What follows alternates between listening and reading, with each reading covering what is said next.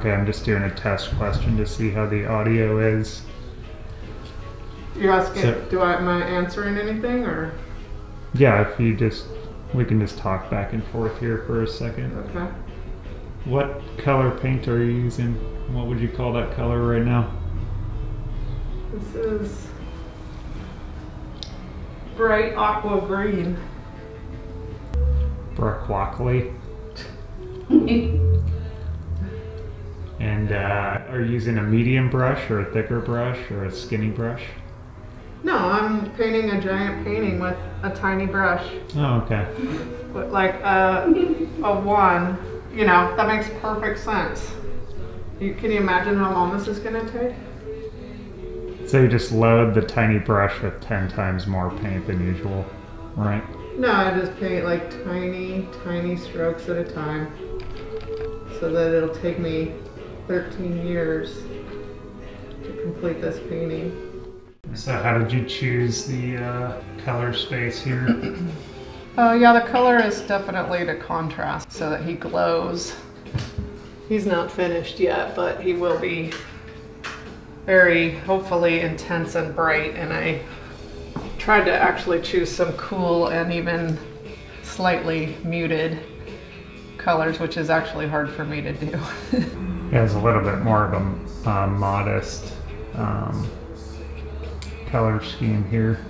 Yeah, that's also part of the Art Nouveau and Mucha style. I already lost it with this aqua and the burnt sienna, which is so uh, intense. But this is gonna have a lot of gold in it when it's all done. It's got these gold streaks, lots of gold decoration around also to show kind of his uh, glory. Working today, we have so many beautiful choices that it's really hard to even narrow down a color scheme. I started looking in this book, Book of Colors, and you know, it's got like, I mean, it, it helps to show different color combinations. So I was using a few of those, and I wanted him to be warm. Once he made it to lions, tigers, and bears, he definitely lived a good life, and honestly, he was he was a healthy, healthy tiger. I even had to I trimmed him up a little bit because he's he was so thick. Um, I just want to make him a little more graceful. I, I mean, beautiful, beautiful. And so he lived where he could see other wild animals through a fence. And he could see them and he could experience water. They, they gave him such a good life. I mean, tigers love water. And he, he had the chance to play in, in fountains or, or waterfalls and swim in a pool and attack toys. But of course, you know, he never got a chance to look for a mate or to wander thousands of miles or find a territory of his own or to swim in a beautiful lake or river and just know it was his. But I know he, I'm sure he was very happy where he was and he didn't know he didn't know what he was missing, of course, but we know. You just uh, completed a different, two different cats about the same size.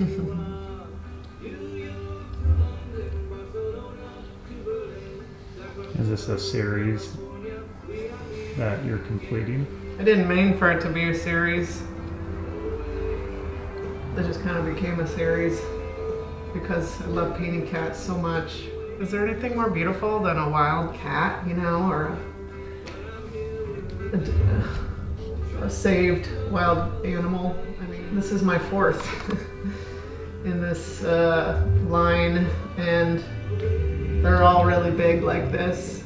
They deserve to be close to full size or full size, honestly. Definitely celebrating their power and beauty and bringing in elements from different scenes to show their facets. And also to show them displaced, how humans are interacting with them.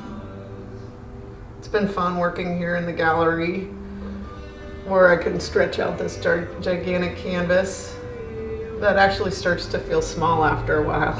It allows me to create a bigger cat and, and their atmosphere and experiment with my painting styles and with the drips and brush strokes and lots of space to work.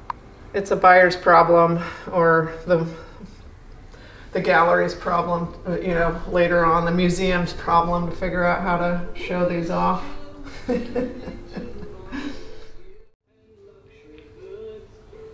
Does it feel any different painting in a space where there's more human activity just one wall away? Just the, the sidewalk people walking mm. outside, even though you're not consciously thinking about them. Mm-hmm. You know that they're there, you know the cars are going by.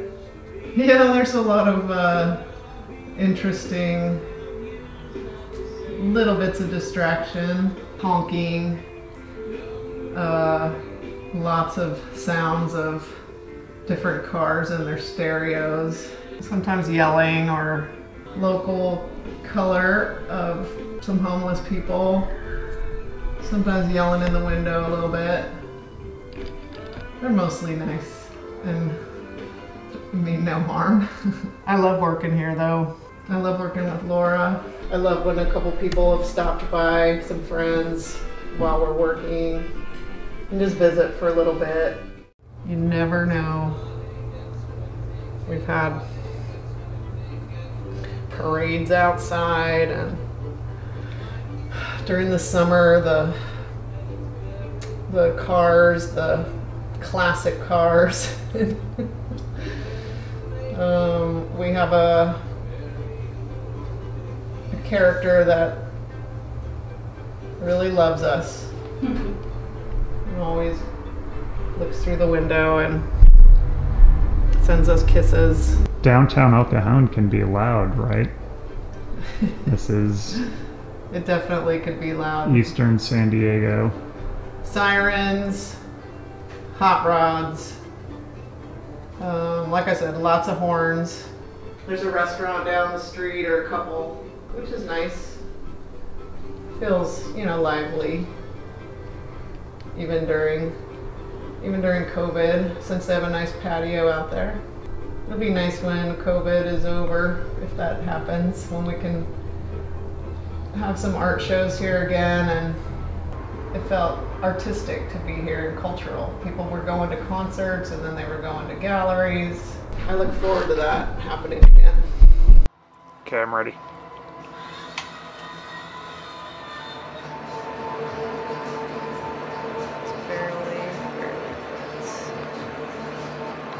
This is late November 2020, arguably the weirdest year of our lifetimes. Let's hope.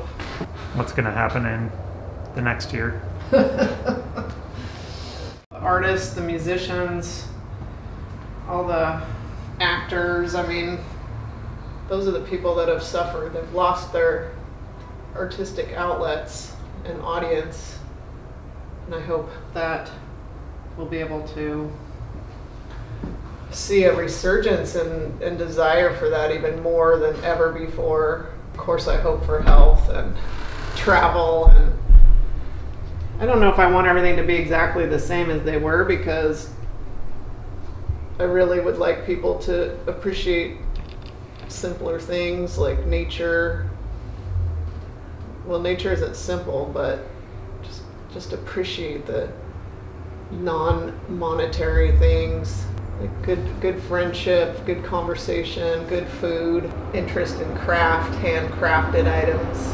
Do you miss the conversations to be had around your artwork, like during an opening or or any event at a gallery? Mm-hmm.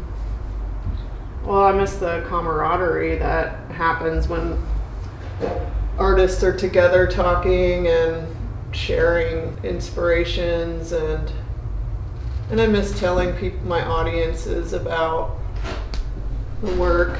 Seeing this work in real life is what it's about. I mean, standing in front of it and the scale, just like when you came in, you said that the color looked different than the picture I had taken. You know, it's like, and how could you know how big this was until you got here, right? And then, then you see me working with this ridiculously small brush on this big painting, and maybe even appreciate how much time it takes. I, I don't, I don't think in the digital format that you can see that time. I mean, art is slow, painful sometimes, inspiring, difficult, and then it, hopefully it's fun too. Hopefully it's a celebration and joy. To really ask questions about what the artist was intending more than, I mean, there's so much more. like an artist is making so many decisions besides just how to paint something like what they want to paint and what colors like you said and, and what subject and what you, what feeling do you want to have and how big is it and what style is it? To watch a, a person in their element of their artistic medium and and getting to share that like with someone else is really beautiful yeah to see like the drips on the wall or the all the brushes out or or the layers that are happening just to make one part. This has a long way to go and i've already spent probably 20 hours on this painting probably more when you think about the drawing part too. I'm sure i have at least 30 more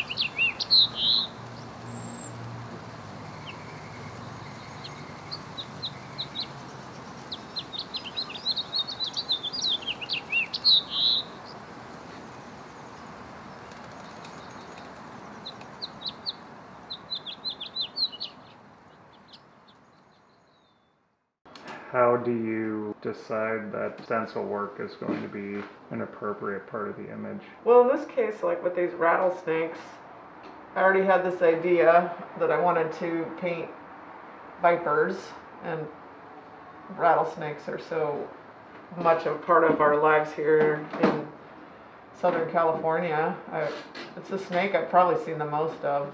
I decided actually to do both. So I have a painting going on of one of hmm. one of stencils at home and then do this actual painted version here. And they probably have different color schemes and totally different energy. And then it leads to like different explorations even of the same subject. I do look forward to having them both finished and then put them next to each other just to see what's happening, where their similarities are and where deviated in their look and maybe even message.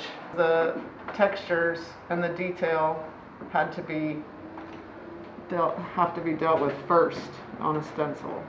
You have to draw it out and then cut it out. Then you start working on the background, kind of the feel of the painting, and then you add the, you know, the stencil on top. But here started with the overall forms not really even knowing exactly what I was going to do with the texture and and letting that kind of come to life.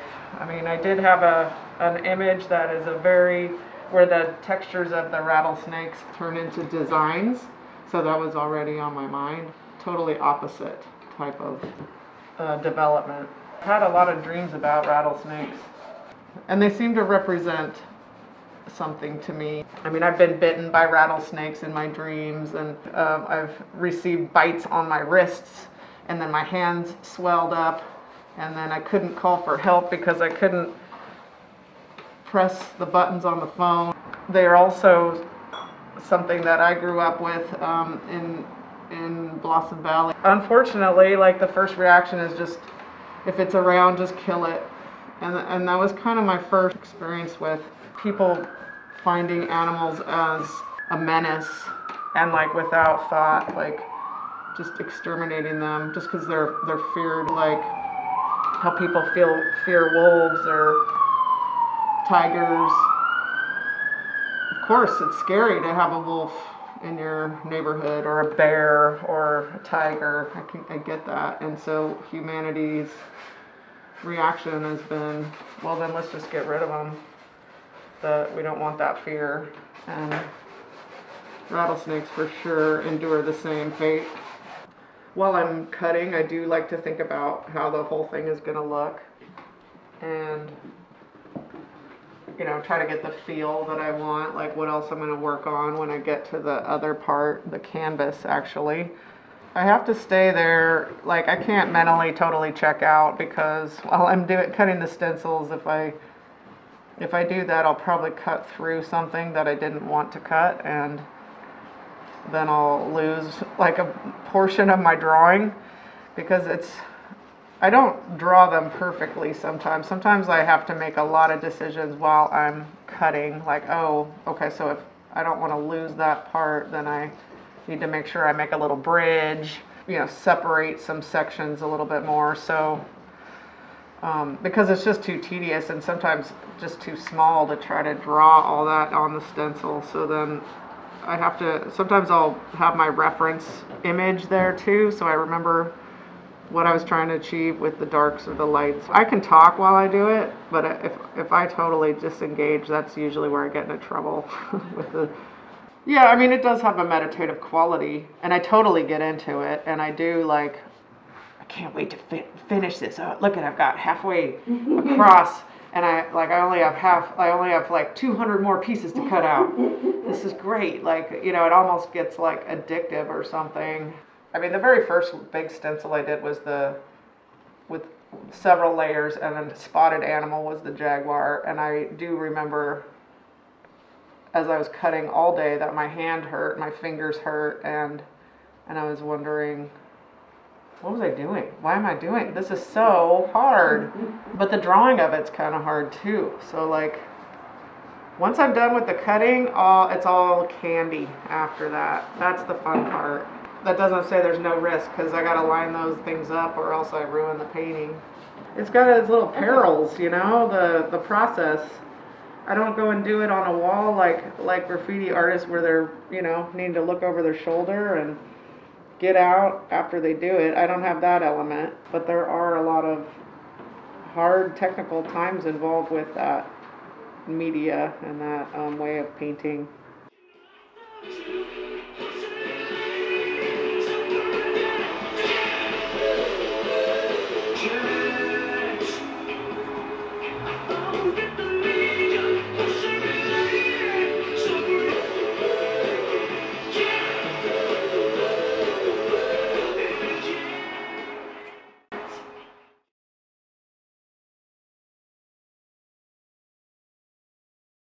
Other painting that I'm doing of the rattlesnakes, um, I want it to be way more powerful. The whole rattlesnake thing is related to some relationships that have in this past year with COVID have been surprising. I felt like I got bit and so quickly.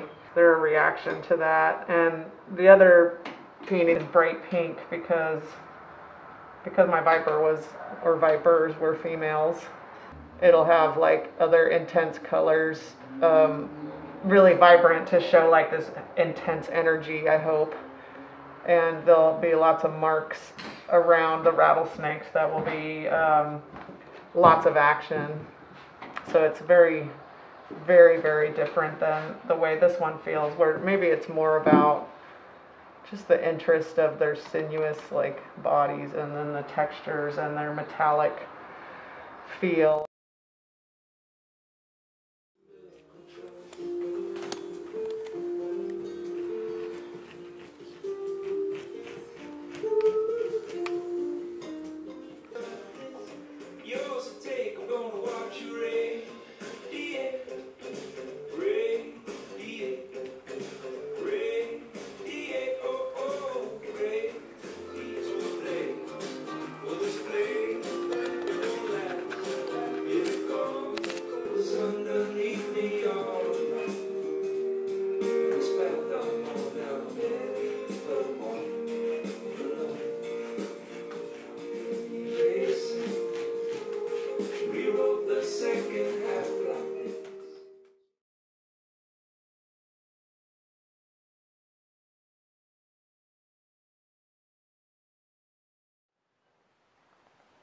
I live in San Diego, California, but my heart is where the animals are. My ultimate goal in creating artworks about creatures that I revere and adore is to create a visual voice for them and their stories. My colorful graffiti like style is a contemporary vocabulary and a method for displaying the layers of the animal's energy, beauty, and struggles. Along with improving my artistic craft, I have made the study and observation of animals my paramount interest. I hike around my own community, admiring the local wildlife, appreciative of the open spaces and natural vegetation. My arms and shoulders are covered with tattoos of some of my favorite animals, and as I drink my morning coffee in the backyard, I await the bird visitors and bees on the rosemary. I see the beauty of nature everywhere in the monarch caterpillars that eat milkweed in my yard, the crows cawing high above, and the kaleidoscopic sunsets with palm tree silhouettes. I had the opportunity to visit Ol Pejeta Conservancy in Kenya, and it was one of the most important events of my life. It was bittersweet to see the last two northern white rhinos on this earth. And as I cried for our loss, I was also unbelievably grateful for the people that have protected and helped so many rhinos. I've traveled Brazilian rivers of the Amazon and the Pantanal to see the greatest diversity of life, from reptiles to birds to glorious jaguar. Stunned by the unbelievable intricacies of our web of animalia, I want to shout to the world and spotlight the gifts we have before us. How important this natural world is to all of us. All animals have a right to be free and valued, not in the monetary sense, but in a spiritual and respectful way. They are not medicinal cure or trophy or delicacy or entertainment. They are sentient beings with their own desires to live, roam, recreate, and live without human interference and greed. The inspiration for my works comes from that space, deep in my soul, that wants to do whatever I can to make a positive impact on this planet with my imagery and my own visual song. I paint the glowing energy of the animals and tell their stories with the honesty they deserve. I'm proud that my work benefits the creatures I care about as I donate paintings, photographs, awards, and sales revenue to the amazing organizations such as Helping Rhinos, Ol Pejeta Conservancy, Global Conservation Force, Lions, Tigers, and Bears, and many more. These are the people and nonprofits that align with my own heart and deserve the efforts of my life's work.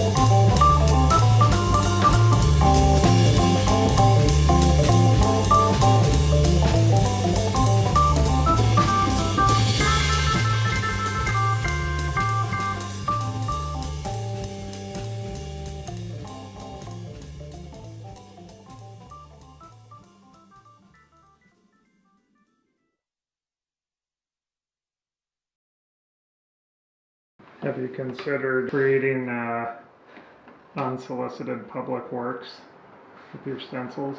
Yes, I have.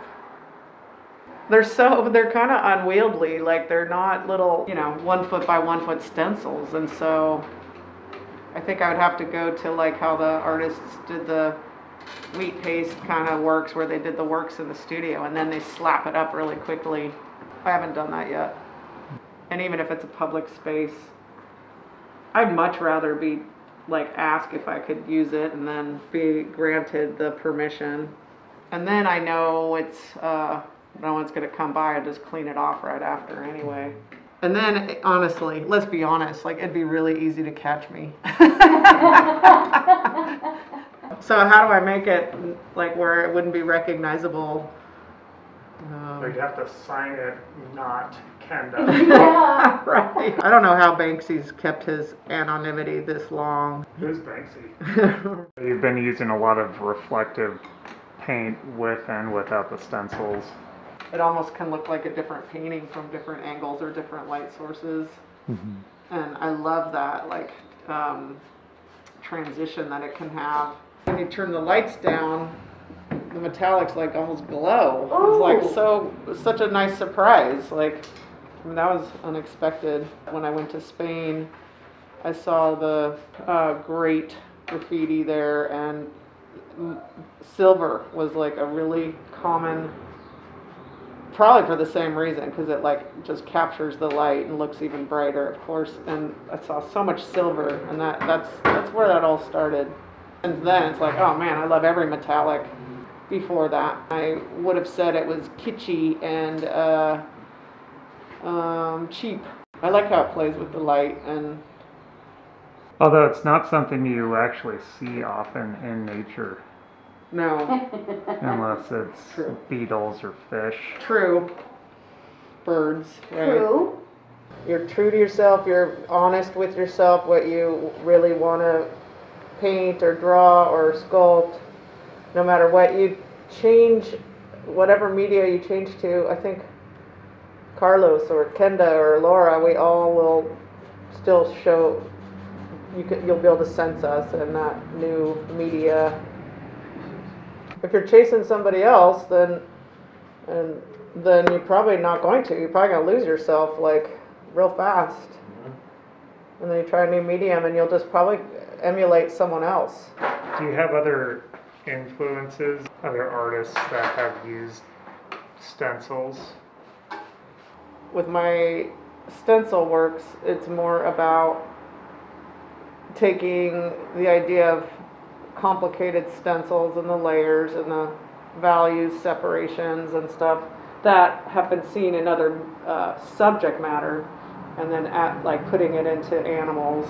When i saw the like all the graffiti in spain you know it was like several different hands were involved with the pieces. Somebody would do a stencil but then someone else would tag it and then someone else would put a sticker on it and then someone else would use crayon on it and then someone else would you know it just was this ongoing um, like almost like performance art. And and then when you saw it all together even though they might have been like 30 different artists that had tagged it or worked on it or left their mark it looked like a a balanced composition and it looked like it was meant to be that way so that was that's those are the things that I've definitely tried to copy. I don't try to copy a specific artist.